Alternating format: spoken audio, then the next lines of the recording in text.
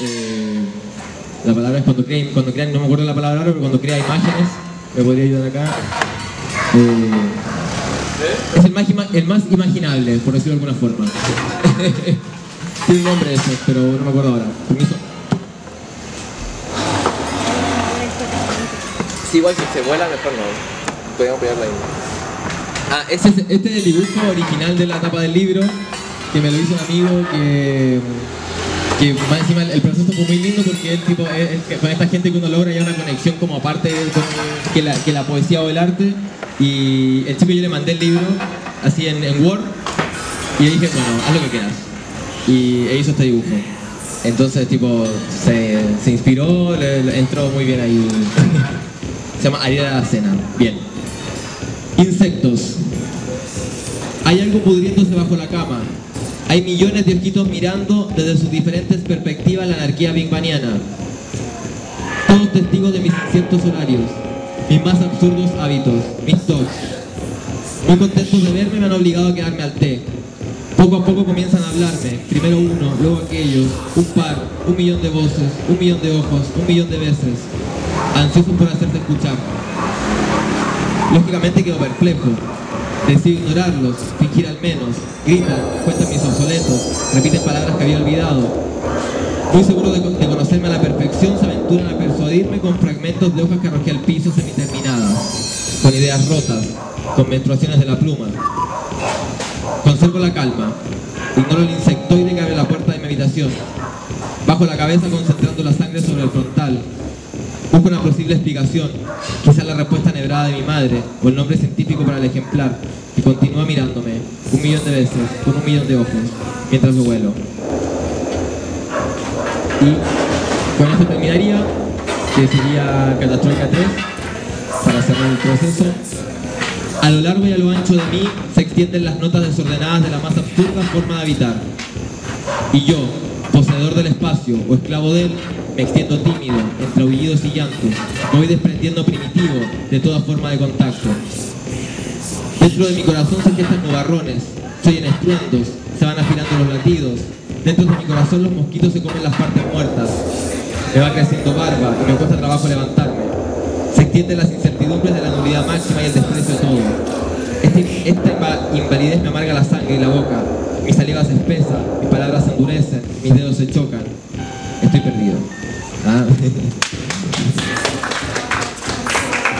O sea, además, no los lleva a nada, ah, porque soy súper perdido como todos. Eh, si alguien quisiera hacerme una pregunta, los escucho ahora. Y yo creo que sí. Ah. Voy a sacar esto porque en serio prefiero así que tengamos. la palabra corazón. Y, y sí es lo que más duele, ¿o ¿no? Es lo que más nos duele siempre, ¿no? Lo digo en serio, no soy, metafórico. Eh, Lo relaciono con eso que decís de cuando los los Claro, cuando, cuando, cuando ya yo me di cuenta de esto porque eh, de que bueno, estuve pasando por un proceso en, en el, que- en el que eso, por ejemplo, se cuenta a una distancia. Yo estoy aquí en Argentina porque vivo con mi pareja, que en Buenos Aires. Yo lo conocí en Chile mucho tiempo antes.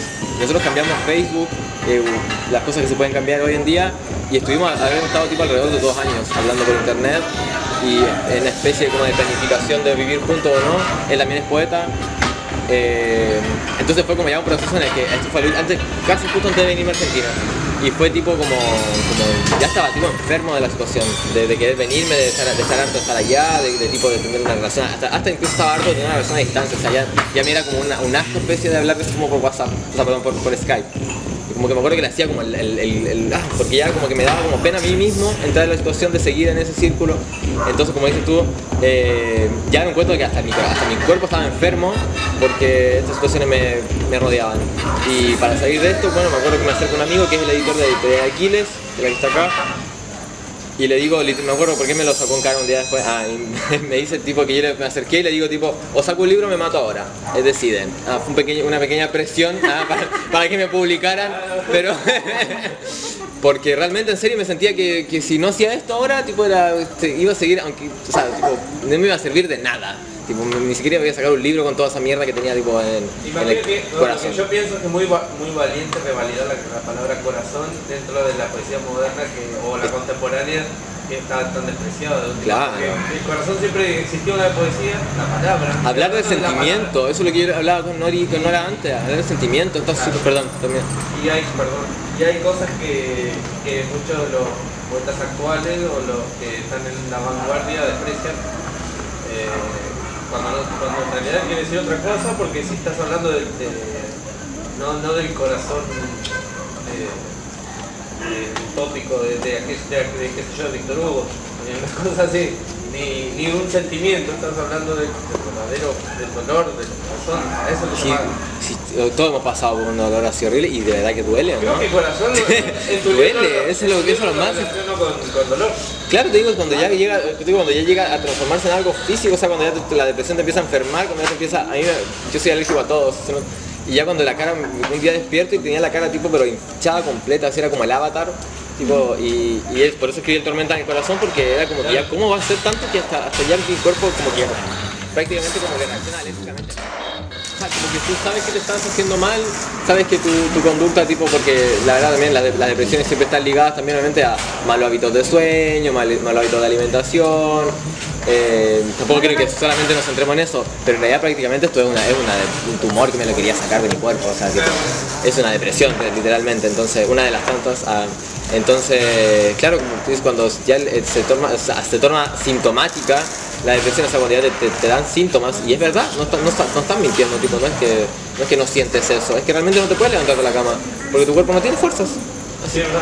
Yo recuerdo, hay, hay otro ahí que no lo quise leer, aunque no lo crean, ah, y que dice eso, que ya tipo, ah, por primera vez se me curó el insomnio, ahora duermo todo el día, literal, tipo, ya, ya no me puedo levantar, así, tipo, no hay un, hay un, un horario, un turno medio. Y hoy cuando lees, de vuelta los poemas se pesan, Sí, te bastante. cuesta volver a leerlos. Bastante, de hecho, cuando, cuando, porque viste que el viernes vamos a relanzar esto y eso es con unos textos, con unos eh, audios de fondo. Entonces en mi casa antes de venirme eh, me puse a ensayarlos tipo, tipo a ver si coordinaba, Tengo que nombrar. que no a ver si coordinaba el tiempo de la música con el tiempo de- del, del texto. Y, y ahí lloré como dos veces, porque por ejemplo hay un, te- hay un tema que es de Pink Floyd, que es Mother, de la álbum de The Wall, y que, claro, ya tipo, imagínate, tipo, te- textos que te caen, tipo, más música tipo, que- te llega. No, yo tuve que parar un montón de veces porque estaba llorando. Claro, yo entiendo porque por ahí. Cuesta leerse de nuevo. Cuando escribo es bonito, o sea, aunque escribo algo bonito, eh, lo lindo es imaginarlo, pero cuando, cuando lo estás escribiendo. Claro, un, un aborto, yo digo, yo creo que un aborto, en serio, porque, porque un parto por lo menos feliz. Ah.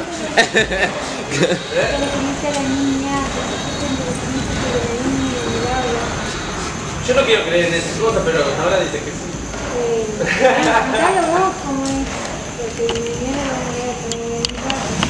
Ah, eh, no, me pasó algo rarísimo que, que hace, hace poco hubo una, una situación en que una nena de dos años que se llamaba Liz, tres años que se llamaba Liz, falleció ahogada en, en Valle María, un balneario que está por acá cerca.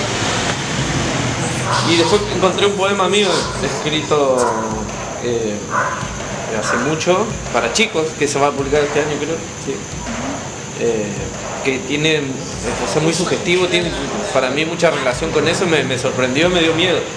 Y le vine, pregunté a Nora por supuesto, y, ella me dio cierta explicación, y yo soy medio reacio en muchas cosas, es como que lo, lo vi y lo dije de otra manera años antes de que ocurriera.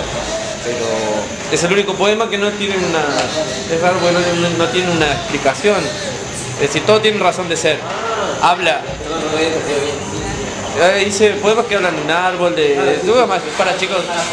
Y este solamente escuché un nombre y lo, le hice un poema, lo, lo relacioné con nada, lo que me salía y después ocurrió esto y me pareció muy rara. Que cuando lo leas, eh, no sé dónde está, ¿dónde está eso? Primero tenía vos para pensar.